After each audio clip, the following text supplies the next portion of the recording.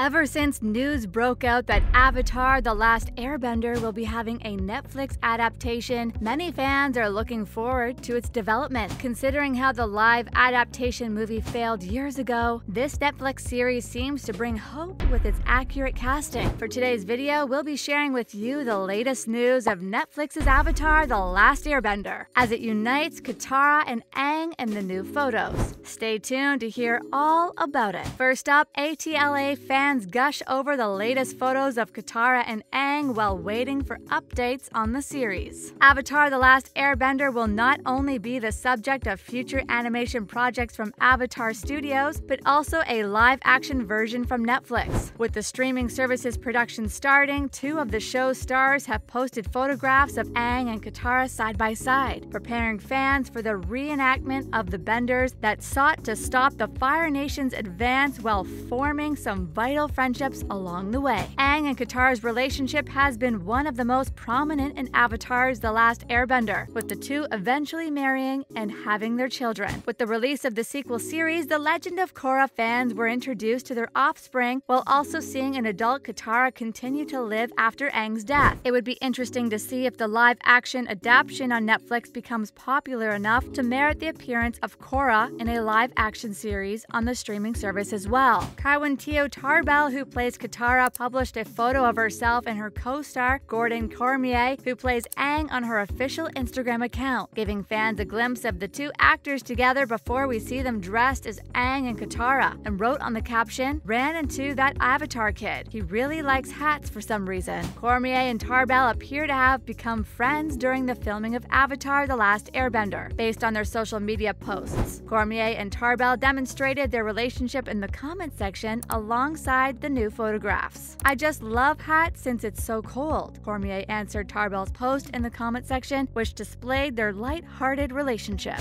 From what we heard, the live adaptation just wrapped up filming one of the big scenes in the movie. But what could we expect from this big scene? Recently, Paul Sun-Hyung Lee, the actor who will play Uncle Iroh in the upcoming live-action adaptation of The Avatar, The Last Airbender, discussed how the series will approach its first season differently than the animated version. After a hard day of filming the actors portraying Uncle Iroh and the Fire Lord Ozai, Paul Sun-Hyung Lee and Daniel Dae Kim share a drink, and the members of the Fire Nation hint at a crucial scene that may not have occurred in the original series. Iroh and Ozai never fought in the original Avatar The Last Airbender series, with Iroh spending most of the season seeking his nephew, Prince Zuko. While Iroh was initially portrayed as a much more laid-back character in the Nickelodeon Large ensemble, the fourth season offered him some important, hard hitting moments when he was able to escape captivity and join the White Lotus to fight Ozai's final attack. Could the live action adaptation provide viewers with a fight that was never shown in the original series? Or is this a retelling of Zuko's first banishment from the Fire Nation, as both Lee and Kim stated? The two actors remark on the big scene that they had allegedly filmed that day with actor Paul Sun-Hyung Lee sporting facial hair that clearly screams Uncle Iroh when compared to the firebender who remains a fan favorite as captured by Twitter outlet Avatar News. While this adaptation is presently under production, no date has been set for its premiere on Netflix. The first season of the animated series, according to the actor, was oriented toward young children, but as the novels progressed, the topics grew much more mature. They still have that whimsical charm, but the concepts were much deeper, and the character arcs were much more mature. He stated that they are attempting to fuse those qualities into the first season.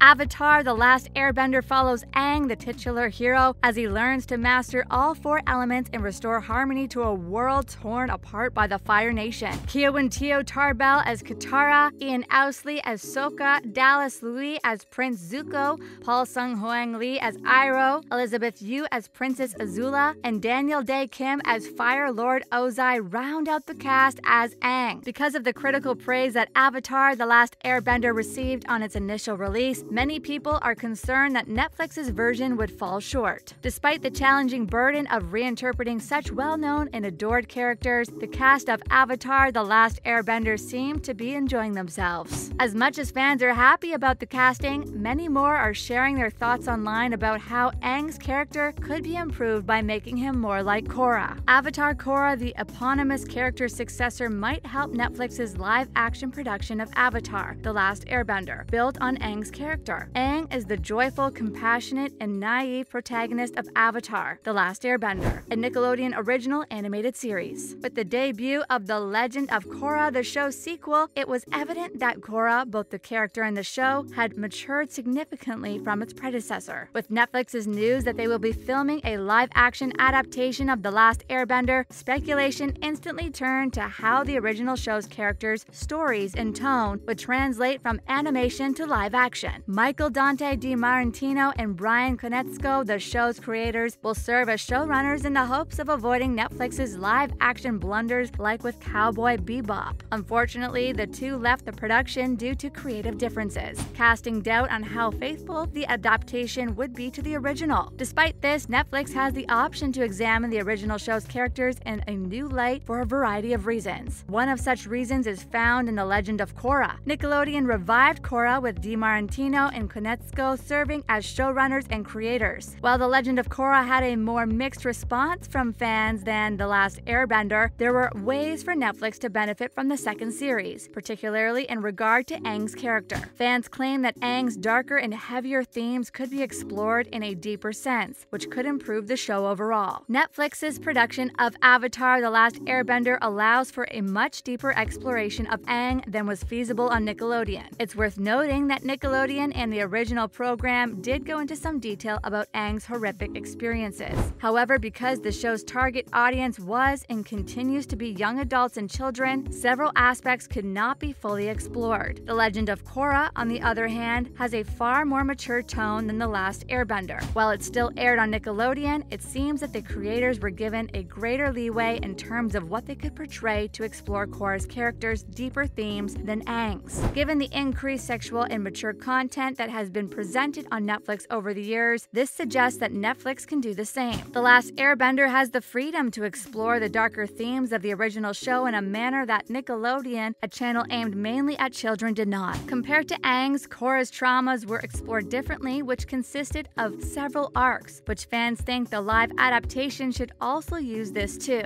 Rather than long character arcs, The Last Airbender frequently focused on Aang's deep seated difficulties in single episodes. Aang was a juvenile, too joyful character for the most part, especially in the first season of the show. The more adult themes of his character were mostly given one episode to bloom in this season. One of Aang's most horrific occurrences occurred in the season 1 episode, the Southern Air Temple. In this episode, Aang accepts the fact that he has been in cryosleep for 100 years and is the tribe's lone surviving member. Aang, Katara, and Sokka discover the body of monk Gyatso, Aang's former airbending master and father figure, near the end of the episode. Due to his rage and grief, Aang enters the Avatar state, and the episode ends on a somber note. While this is undoubtedly one of Aang's most important aspects, even providing the show's title, it is rarely discussed on this level again. Similarly, Avatar Aang's remorse for leaving the Southern Air Temple and being encased in ice, allowing Fire Lord Sozin and the grandfather of Aang's nemesis, Fire Lord Ozai, to perpetrate genocide against the Air Nation and start the Hundred Year War, is explored in episode 12 of season 12, The Storm. The episode includes many flashbacks to Aang's upbringing, highlighting his reluctance to become the Avatar and the impact it had on his life. This one episode covers most of Aang's guilt and childhood suffering. A dimension of Aang's trauma is depicted across numerous episodes in the season 2 narrative,